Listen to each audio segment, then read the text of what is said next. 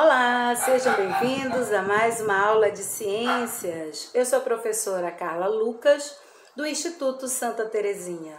Vamos lá? Vamos então, meus queridos. Deixa a tia voltar aqui e diminuir essa a minha imagem.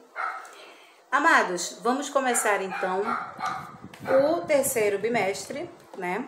E vamos começar também um livro novo, ó, do terceiro bimestre, do terceiro volume, na verdade, né, do livro do positivo. Meus queridos, quem já tem, ó, beleza. Quem ainda não adquiriu, né, ainda não foi buscar na escola, pegue o seu, tá? O que, que você vai precisar para é, acompanhar os assuntos, ok? Então vamos lá, ele vai ficar aqui em cima da mesa, a gente vai estar tá fazendo esse bate-bola. E esse terceiro bimestre nós vamos trabalhar dois capítulos: Conhecendo os seres vivos e Ser humano e sistemas integrados, ok? Bem, para você que está com seu livro, página 2, tá? Vou colocar para cá. E a gente vai falar então das características dos seres vivos, né? Que a gente tem que entender que a diversidade da vida na Terra ela é muito grande e que de vez em quando, né, eventualmente, novas espécies elas vão sendo descobertas, tá? Estima-se que existam aí cerca de 9 milhões de espécies de seres vivos aqui no nosso planeta. E a gente tem que aprender, né, a, a, a caracterizar o que, que é um ser vivo. Então, para que seja um ser vivo, para colocar um determinado indivíduo, né, para classificar como é, ser vivo, esse ser vivo tem que ter algumas características e são essas que nós vamos trabalhar agora. Então, para né, é, as características dos seres vivos, nós vamos ter o ciclo de vida, reprodução, necessidade de energia, reação às, a estímulos e organização celular. Então, as características principais dos seres vivos são essas cinco. São observadas em todas elas, né? É, de formas ou de maneiras diferentes, mas que sim, elas estão expressas ali. Então a gente vai trabalhar um pouquinho de cada uma, ok? Vamos falar então do ciclo de vida. Na página 3 tem justamente esse mesmo exemplo, tá? Da, do ciclo de vida da borboleta. Então, uma característica super importante dos seres vivos é justamente o ciclo de vida, que vai compreender as transformações, as etapas, né? De, das transformações em que esse indivíduo vai passar. Então, nós vamos encontrar no ciclo de vida nascimento, crescimento, desenvolvimento e morte. Então, os seres vivos vão passar por essas quatro etapas. Essas quatro etapas, elas vão ser parecidas de indivíduo para indivíduo? Não. Cada espécie tem a sua forma, né? É, é, forma e situações diferentes de representar, então, esse é, ciclo de vida. Um deles é essa aqui que a gente está vendo aqui embaixo da borboleta. Então, a gente está vendo um ovo, é, é, o desenvolvimento da, da borboleta do ovo, né, que é clode uma larva. A gente está vendo logo no início do desenho ali, ó, aquela, aquela lagartinha verde, né? E ela vem com o tempo, ela vai mudando, ela vai sofrendo ali transformações até que ela se transforma em borboleta, passa pelo casulo e há então essa transformação, né, em borboleta. Aí eu pergunto para você, essa toda essa etapa de vida é igual ao, ao, ao, ciclo de vida, um exemplo do gato, do cachorro? Não, cada um tem uma forma né, diferente aí para representar então esse ciclo de vida, ok? A partir de uma certa idade do desenvolvimento, os seres vivos então são capazes de se reproduzir e de é, garantir a sobrevivência da espécie, né? Deixando então gerações descendentes dessa espécie, que vão ter de novo o mesmo ciclo de vida, desenvolvimento, até chegar à, à fase aí da reprodução, que é o nosso próximo ponto, né? A reprodução. E aqui na reprodução, nós vamos falar de dois tipos de reprodução, tá? Dois tipos de reprodução. A reprodução ela pode ser é, de uma forma que nós chamamos de sexuada ou de uma outra forma que nós chamamos de assexuada.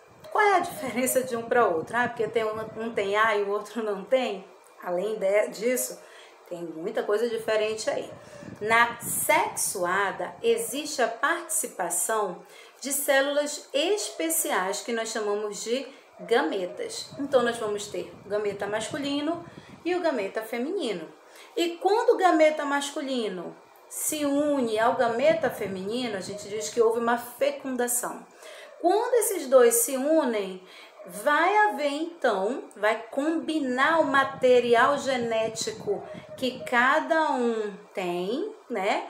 Tem aqui material genético do gameta masculino com material genético do gameta feminino, eles vão se unir, vai haver a fecundação e esse material genético ele vai se combinar, ok?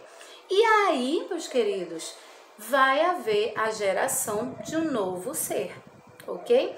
Então, na reprodução sexuada, eu vou ter combinação de material genético beleza? Eu vou ter um gameta que é específico feminino e um outro que é específico masculino. Então, é, a maioria dos animais e plantas apresentam essa reprodução sexuada, beleza? E a assexuada é o que? Bem, já está falando ah, né? Negação, não tem. Então não há troca, não há troca de material genético. Ou seja, não tem aquele gameta masculino e feminino, não. O que, que vai acontecer? Aquele indivíduo aqui original, ele vai gerar como se fosse cópias iguaizinhas a ele, iguaizinhas a ele.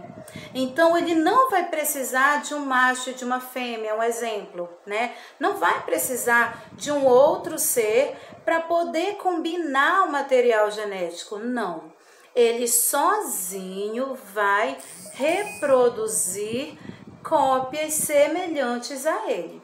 Quem é que faz esse tipo de reprodução? Bactérias, alguns protozoários como as amebas, alguns animais, alguns, tá? Como esponjas e alguns vermes, ok? Então, nós temos dois tipos de reprodução. A sexuada, que tem troca de material genético, e a assexuada, que não tem, vai formar seres iguaizinhos ao original. Ele não vai precisar de nenhum parceiro para poder se reproduzir, ok? E aí a gente vai falar de necessidade de energia. E aí eu lembro de novo, toda vez que eu vou falar desse assunto, eu lembro da minha mãe falando: Olha, saco vazio não para em pé. Saco vazio não para em pé? Que que é isso, professor? Era um ditado.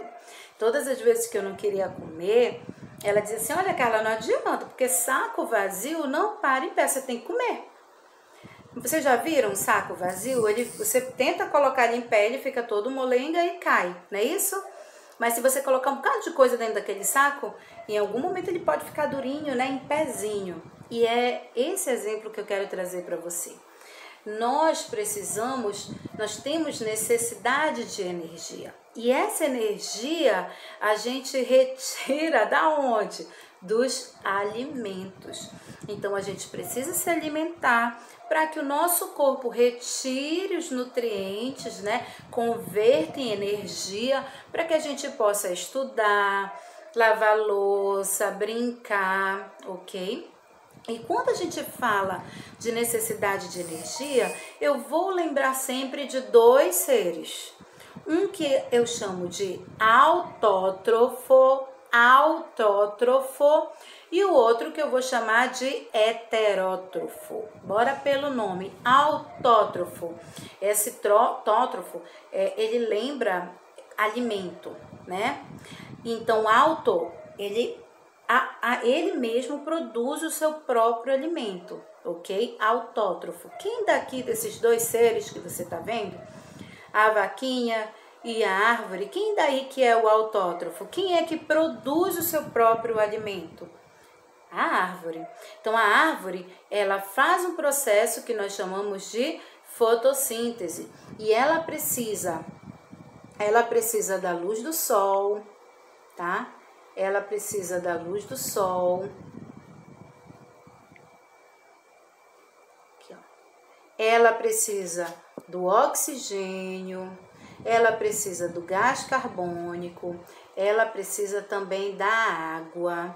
E aqui nas suas folhas, ela tem cloroplastos, que são organelas que vão absorver ali a luminosidade, né, a energia solar, e é ness, são nessas células, nesses, nessas organelas, né, que tem dentro das células é que vai ali acontecer a fotossíntese, ok? Então ele vai precisar, essa planta vai precisar de sol, é, gases, né, que é o caso da, da, do oxigênio, do gás carbônico e da água. Então, quando ela tem essa combinação né, de fatores que eu acabei de falar, ela produz o seu próprio alimento, tá ok? No nosso caso, nos animais, vou usar aqui, ó, a vaquinha que tá do lado, tá? Vou usar o exemplo dela.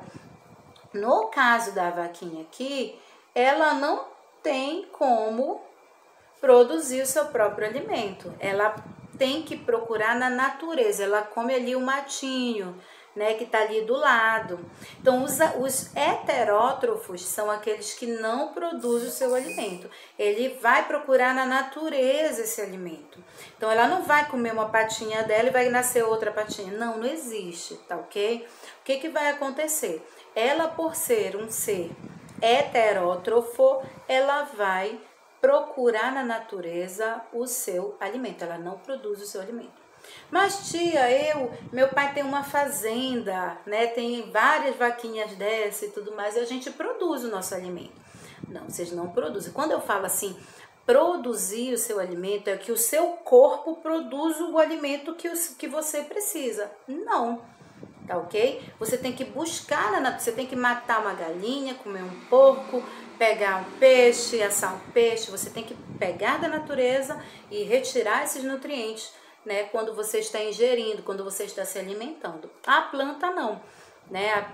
Plantas e algas, né, elas têm ali um pigmento que nós chamamos de clorofila dentro dessas organelas que nós chamamos de cloroplastos. E quando ela está nessas condições de luz solar, gases, água, ela consegue produzir o seu alimento num processo chamado de fotossíntese. Ok. Reação aos estímulos. Isso aqui eu vou mudar para cá. Então. Bem, os seres vivos, eles respondem a vários estímulos do ambiente.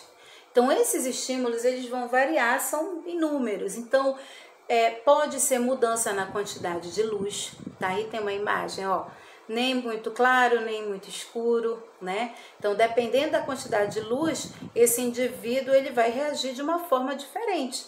Se está muito claro ou se está muito escuro, ele vai reagir diferente se tiver muito quente ou se tiver muito frio.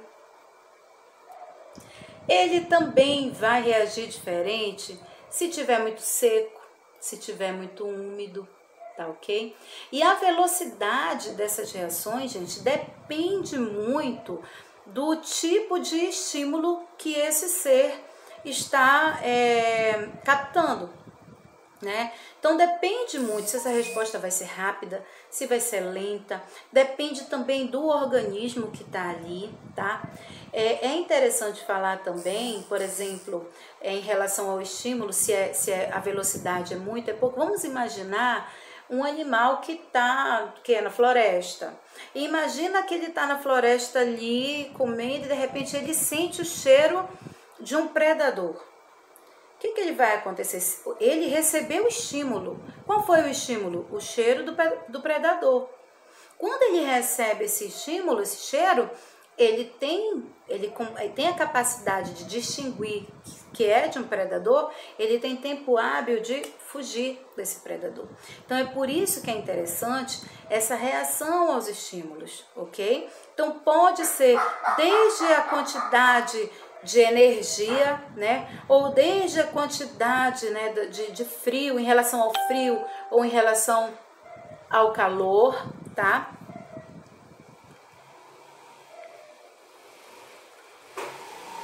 Em relação em relação ao calor, né? E também uh, ao odor. Então, só para vocês terem uma noção desse exemplo que eu dei, né?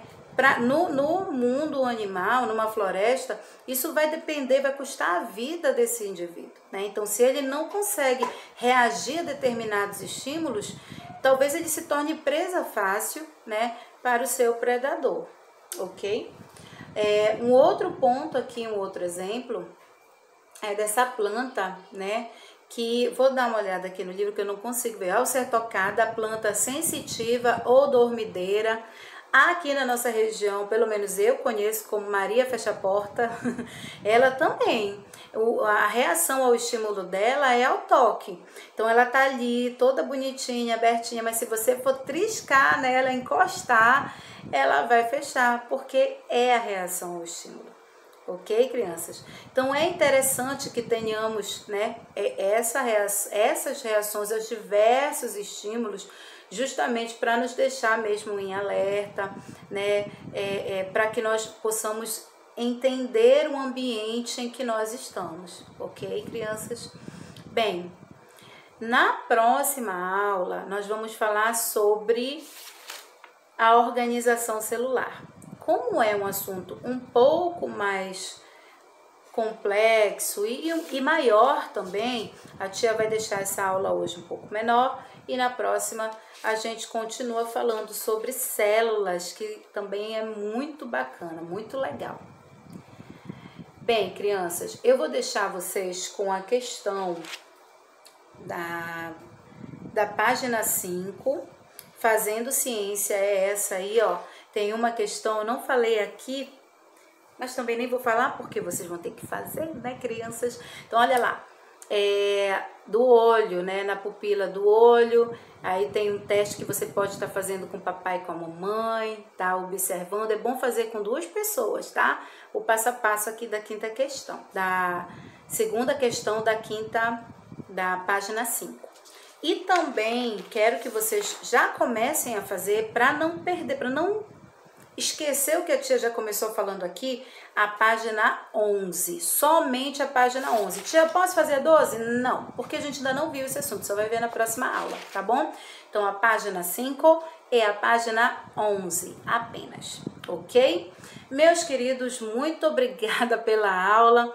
Fiquem com Deus e tenham uma semana extremamente abençoada. Beijo, obrigada por tudo. Tchau, amados.